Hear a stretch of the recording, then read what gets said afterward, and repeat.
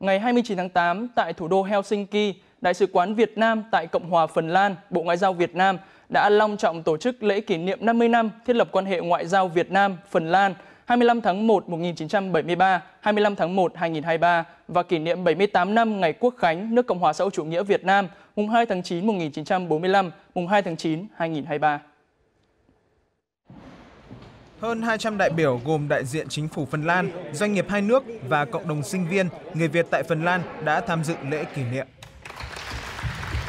Quan hệ ngoại giao giữa Việt Nam và Phần Lan đã trải qua một hành trình đáng chú ý trong suốt năm thập kỷ vừa qua và hai nước cũng đã chứng kiến những bước phát triển vượt bậc và chuyển đổi thành công mô hình phát triển ờ, từ ờ, hợp tác phát triển sang giai đoạn hợp tác cùng có lợi và góp phần tích cực vào phát triển kinh tế xã hội của Việt Nam.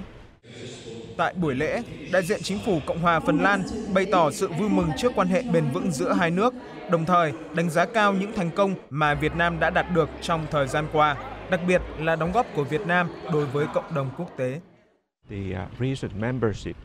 Việc Việt Nam lần thứ hai trở thành thành viên của Hội đồng Bảo an Liên Hợp Quốc là một bước tiến đáng ghi nhận. Đây là thành công lớn đối với chính sách đối ngoại của Việt Nam. Bên cạnh đó, còn có rất nhiều doanh nghiệp vừa và nhỏ, các tập đoàn lớn của cả hai nước đang cùng hợp tác để tăng cường mối quan hệ thương mại theo hướng cùng có lợi. Quan hệ ngoại giao giữa Phần Lan và Việt Nam đã kéo dài 50 năm. Tôi hy vọng hai nước sẽ tiếp tục giữ vững mối quan hệ này trong 50 năm tới, hoặc thậm chí là 100 năm tới. Quan hệ hợp tác giữa hai nước rất đa dạng trên nhiều lĩnh vực, cụ thể là mô hình kinh tế tuần hoàn, số hóa, lâm nghiệp và giáo dục.